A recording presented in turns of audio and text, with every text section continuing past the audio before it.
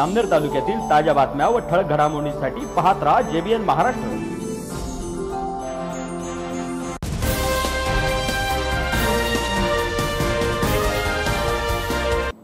नमस्कार मी विनोद चौधरी. पाहूया काही ठळक वृत्त. जामनेर तालुक्यातील फत्तेपूर ग्रामपंचायतीचा भोंगळ कारभार चव्हाट्यावर आला असून शासनाचा लाखो रुपयांच्या निधीचा गैरवापर करून करण्यात आलेले अंडरग्राऊंड गटारींचे काम अत्यंत निकृष्ट दर्जाचे केल्याचा आरोप फत्तेपूर गावचे नागरिक करत आहेत. फत्तेपूर येथील बेला कॉलनीमधील ग्रामपंचायतीच्या वतीने करण्यात आलेल्या अंडरग्राऊंड गटारींचा फज्जा उडालेला दिसत असून रमजानच्या पवित्र महिन्यातील रोजे सुरू असताना या गटारीमुळे होणाऱ्या दुर्गंधीमुळे नागरिक त्रस्त झाले आहे तर नागरिकांचे आरोग्य देखील धोक्यात आलेले आहे. त्यामुळे ग्रामपंचायत प्रशासनाविरोधात प्रचंड रोष येथील रहिवासी व्यक्त करताना दिसत आहेत.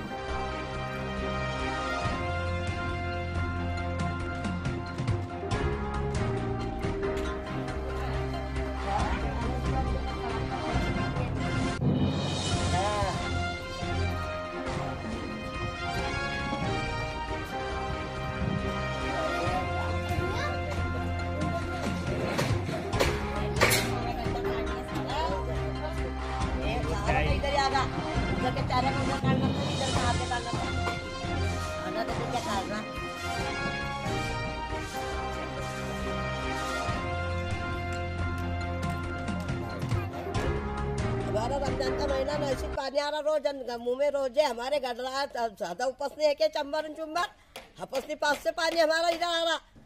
आधा उधर चारा निकालते ना इधर चारी काटते अरे वाह लोग। दर बुरा बुरा- को बुलाना पड़ता, चारा का दिन निकलता नहीं हमारे गले में। एक फावड़ा नहीं मारा उस दिन सूरज का पोरा भी आया तो। तो ग्राम पंचायत को आपने बताया क्या ये सब? क्या क्या वो कल आता है मैं वो क्या कहते मैं सुनका सुनका नहीं काटा तो निकला नहीं। हमारे इसमें वो ला रहे हम ग्राम पंचायत हमारा सुन रही हमारे बच्चे हमारे मुँह में उपास हमारे बच्चे बीमार पड़ रहे वो लोग ख्याल नहीं दे रहे हमारे पे ग्राम पंचायत वाले भी। आते नहीं गडरा काटते नहीं। है हमारे बच्चे हमारे कब तक दवा खाने में भरना हमने? सारे आँगन में उपास से हमारे लोगों के आ रहे जा रहे हम आ रहे बीमार पड़ रहे एक दिन भी नहीं, हमारे पे ख्याल रखते ग्राम पंचायत। बुलाता आते नहीं, आते आते, मोटे बुलाते बराबर आते। बाया का कोई सुनता नहीं आदमी को सुनता इधर गली में कुछ भी नहीं। चारा बना रहे, चारे बना रहे कहा डाल दिए चारे के पैसे। निश्चित चंबर बना दिए। अब रोड नहीं, रोड आ रहा, रोड आ रहा, सारे गाँव में रोड आ रहे यहाँ रोड नहीं। आया रे कुछ कोई देखता ही नहीं कोई ख्याल ही करता इधर की गली में। बाया गया बोला तो हाँ घर का बेटा भरो ना मुख पर बेटा भरो। कहाँ से भरेंगे? तुम वो व्यवस्था नहीं कर कहाँ से क्या घर पर भरेंगे?